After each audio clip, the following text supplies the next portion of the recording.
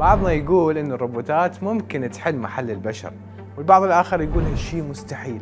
خلوني أقول لكم حقائق عن الروبوتات يمكن ما تصدقوها. شركة شاومي سوت مصنع كامل للهواتف المحمولة. استبدلت به البشر بالروبوتات. هذا المصنع ما بي بس روبوتات يعملون 24 ساعة باليوم.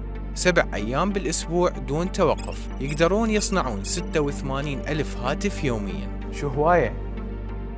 بنفس الوقت أكو روبوت بكوريا الجنوبية دمر نفسه. إي نعم دمر نفسه. روبوت من شركة Bear Robotics عمل من الساعة 9 صباحا للستة مساء لمدة سنة كاملة بدون راحة.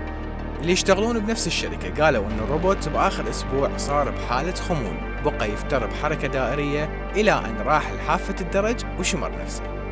وهيك يبقى التساؤل مستمر. حتقدر الروبوتات تحل محل البشر؟